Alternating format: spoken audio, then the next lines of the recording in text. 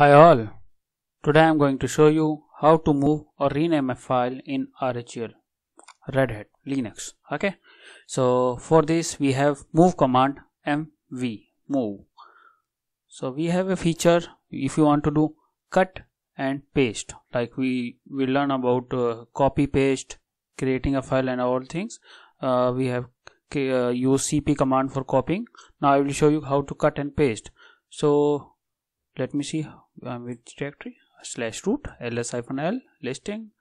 Okay we have a file ab so i'm doing mv ab to slash temp.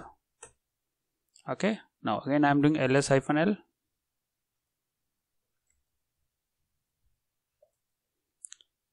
See this file is cut from here that ab file and it should be in a slash temp ls l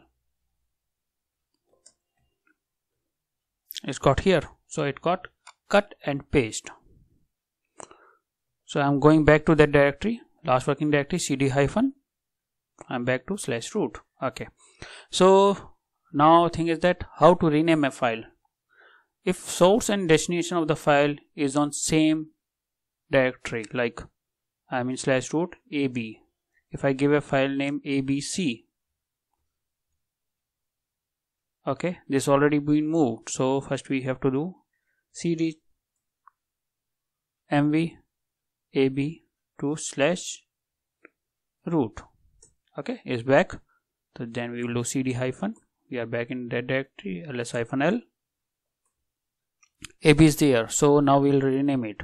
Mv ab uh, we will give abc name.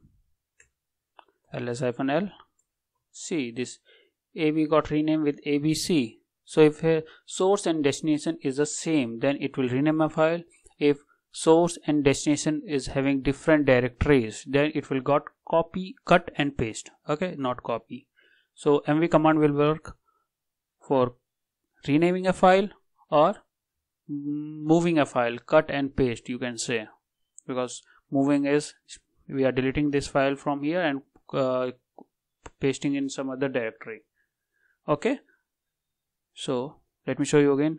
If source and destination is same source is abc file and if i'm using slash temp ab so this file will cut from here and in a temp directory it will get created with the name of ab cd slash temp ls. See it's got created ab if you check the timestamp it's showing 1238 so it's not like created a new file. So it created uh, move the old file only because now current time is 1310 1330 oh sorry. And its creation time is 1238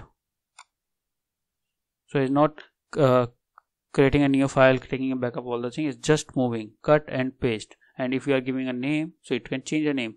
But if it is on the same directory like mv ab and you want to rename it abc you may do that. Ls-l has got rename over here. Okay? So we use mv command for rename and cut and paste. And we have modes mv-i this option abc then we'll do xyz interactive mode. Ls-l xyz timestamp is 1238 is still same we have mv hyphen u. As we already discussed is the for update. If there is an update from source to destination file then only to get uh, updated. Else it will won't perform any action. And we have hyphen v for verbose mode. Um, xyz back to abc abx okay. So in a verbose mode you are getting output xyz is renamed to abx so in this manner you can use this mv command. And for more information you have man command with you m man then command which you want. So it's showing hyphen b is for backup f is in force interactive sniffing target. So update verbose all the content are here. But in a corporate environment we use mv with hyphen i sometime hyphen u and uh, va as well. So these top are the three most uh, using uh, options are there with mv command. Okay that's all for today for mv command. See you in the next video with lots of new commands and all. Thank you. Bye